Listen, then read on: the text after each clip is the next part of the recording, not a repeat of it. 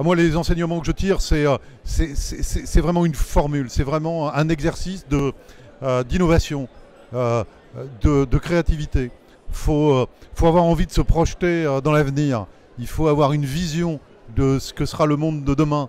Il faut imaginer les nouvelles communautés que nous allons créer sur l'ensemble de nos projets. Moi, c'est un mode de consultation qui vraiment me convient parfaitement. C'est l'ADN de notre entreprise.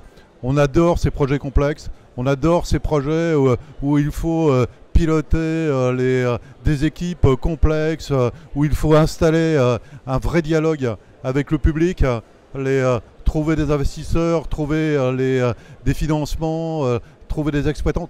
Tout, ça, c'est, euh, euh, c'est, très très innovant comme modèle, euh, surtout à cette échelle-là. Et quand on a la chance de pouvoir le faire sur des très très très grands projets, alors là c'est exceptionnel pour un groupe comme le nôtre. Pour moi, la, vraie clé du succès, c'est l'enthousiasme des, équipes.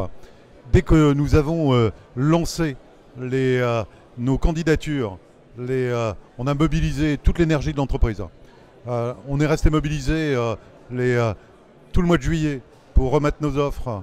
On a préparé les euros et, euh, on va poursuivre avec enthousiasme sur euh, les sept projets dont nous sommes lauréats. Donc euh, c'est une équipe formidable qui a su mobiliser des partenaires qui étaient vraiment à nos côtés, que ce soit les architectes, les bureaux d'études, toutes les startups et tous les opérateurs que nous avons agrégés à cette consultation et qui ont fait un travail formidable.